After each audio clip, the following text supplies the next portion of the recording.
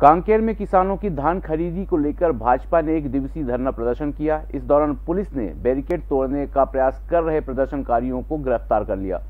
भूपेश बघेल सरकार में किसानों की धान खरीदी को लेकर भाजपा ने धरना प्रदर्शन किया। कांकेर में भाजपा कार्यकर्ताओं ने कलेक्ट्रेट का घेराव किया और सरकार के खिलाफ नारे लगाए। इस दौरान कलेक्ट्रेट घेराव करने निकले भाजपाइयों को बीच रास्ते में पुलिस द्वारा रोक लिया गया। जिससे नाराज़ प्रदर्शनकारियों ने बैरिकेड्स तोड़ने की कोशिश की जिसके बाद करीब दो दर्जन से अधिक प्रदर्शनकारियों को पुलिस ने गिरफ़्तार कर लिया। संगीत की स्वर लहरियों से सांस्कृतिक ताने बाने तक चंबल के पीड़ों से नक्सलवादियों के गढ़ तक झोपड़ी से महलों तक ठेलों से मेलों तक पगडंडियों से सड़कों तक गाँव से शहरों तक व्यापार से उद्योगों तक। राजनीति से कूटनीति तक। दखन न्यूज़। आपके हक। में।